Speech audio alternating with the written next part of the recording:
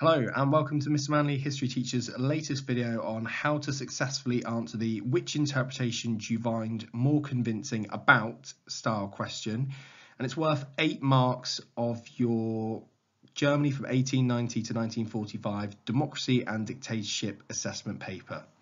Let's get started with the main tips on how to answer this type of question.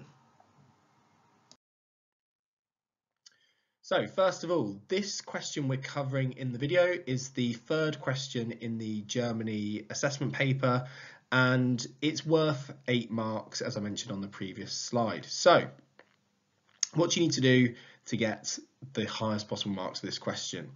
You need to spend roughly equal time addressing both the interpretations. You don't want to write loads for interpretation A and only write a little bit for interpretation B. You want to be spending approximately the same amount of time and write a similar amount for each interpretation. Like question one, you don't use the provenance of the interpretations in your answer to this question. You only need to focus on the content of both the interpretations and your own contextual knowledge to answer this type of question.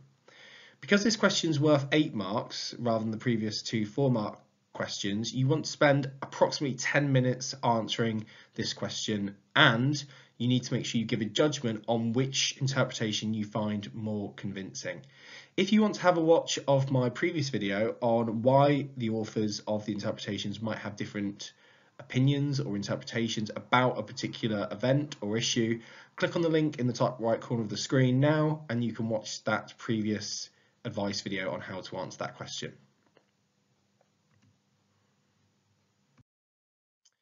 So here we have a question and a model answer to this particular type of assessment question. So, which interpretation do you find more convincing about Hitler's appeal to the people of Germany? Explain your answer using interpretation A and B and your own contextual knowledge. So what we need to focus on for this type of question is the content of both the interpretations. So in interpretation A, it really focuses on Hitler being a hypnotic and persuasive orator or speaker. It doesn't really give too much focus or too much credit to other factors as to why the Nazis were able to gain so much support from the German people or why Hitler was able to appeal to such a broad section of German society. In interpretation B, it focuses more so on the Great Depression, which is referred to as the World Economic Crisis here in interpretation B. However, interpretation B does also mention Hitler as well. So it gives a couple of different reasons, a couple of different factors why Hitler was able to appeal to such a wide variety of German people. Let's turn our attention to the model answer now itself. Interpretation A is convincing to a certain extent. We haven't said it's completely convincing, we've just said it's convincing to a certain extent. And to get the best possible marks for these types of questions, you need to give a sort of nuanced judgment in terms of both interpretations and how convincing you think they are says that Hitler was a charismatic and a persuasive speaker. So we've actually quoted some content from the interpretation there, who stirred audience emotions by blaming foreign powers, Jews and the Weimar Republic for Germany's problems. So we've shown a bit of own contextual knowledge there, and by quoting a word or a phrase from the interpretation, that's showing the marker that we're using the interpretation itself as well. However, the interpretation is less convincing to an extent, as it does not mention other factors such as the Great Depression or the effects of the Treaty of Versailles on Germany for raising the appeal of Nazism to the German people. So we've given both sides there. You don't actually have to. If you if you'd written that the interpretation is really convincing, you actually don't need to give reasons why it is less convincing. However, you do need to make sure that by the end of your answer, you have made it clear to the marker which interpretation you find more convincing over the other. Let's have a look now at interpretation B.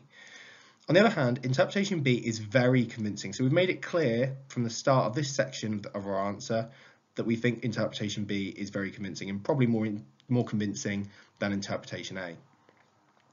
As it still mentions Hitler as a factor behind the Nazis' appeal to the German people, but states that Hitler's appeal was facilitated by the Great Depression.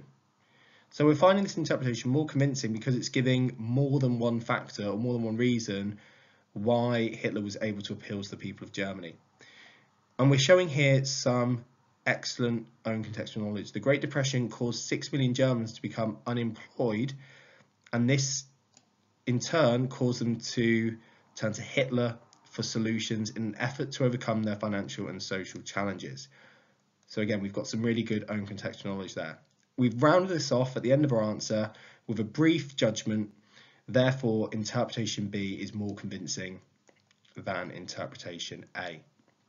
That's what you really need to focus on in your answer to get those set, those top marks, seven or eight marks out of eight, to make sure that it's clear in your answer which interpretation you are finding more convincing. The best answers will be clear to the marker throughout which interpretation is more convincing rather than leaving the marker guessing until you get to the end of your answer. So let's recap those top tips again. Spend roughly equal time addressing both interpretations.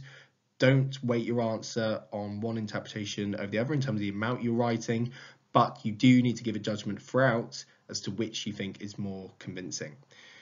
Like question one, don't refer to the provenance of either of the interpretations. You don't want to do that, so I'll put that in red.